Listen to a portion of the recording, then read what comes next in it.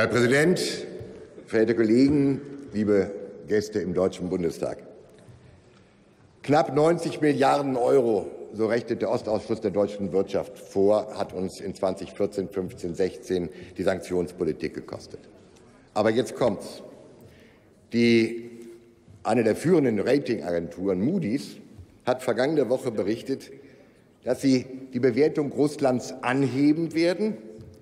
Sie hat die Zukunftsaussichten Russlands in der Wirtschaft auf positiv gestellt und das vor dem Hintergrund, dass sich der Öl- und Gaspreis in den letzten Jahren halbiert hat und das Land trotzdem auf Wachstumskurs ist. Damit, meine Damen und Herren, mit diesen Zahlen und Fakten ist die Sanktionspolitik des Westens und der Bundesrepublik Deutschland gescheitert. Ende. Das ist die klare Botschaft, das sind die Fakten.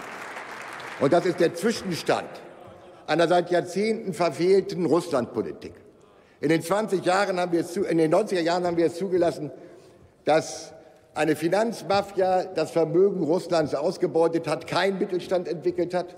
Ich habe da oben als Parlamentskorrespondent der ARD gesessen, als Wladimir Putin 2001 ihn eine Rede gehalten hat und beide Hände nach Deutschland ausgestreckt hat. Ich habe auch, meine Herren von der Union, von der FDP, Ihre geringschätzige Reaktion damals wahrgenommen.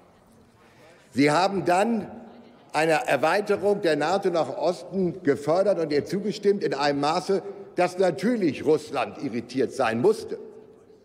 Es ging ja immer weiter. Wir haben damals darüber verhandelt, ob das Gebiet der DDR zur NATO gehört.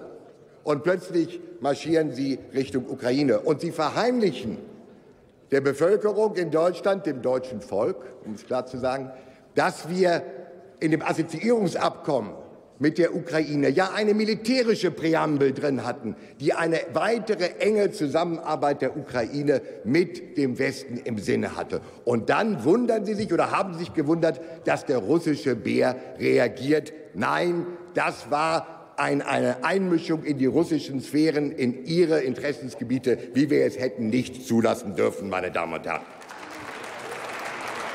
Und dann muss und dann muss, man, muss es auch die deutsch-amerikanische Beziehung aushalten.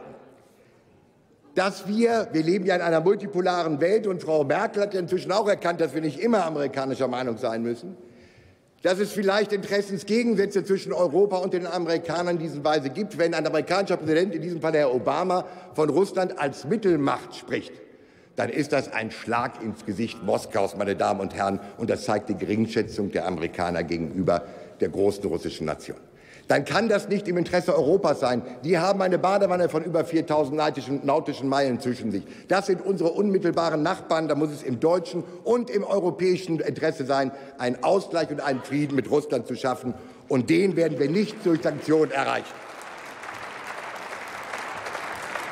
Machen wir also unseren amerikanischen Freunden klar, dass wir im deutschen und im europäischen Interesse eine andere Politik mit Russland machen wollen.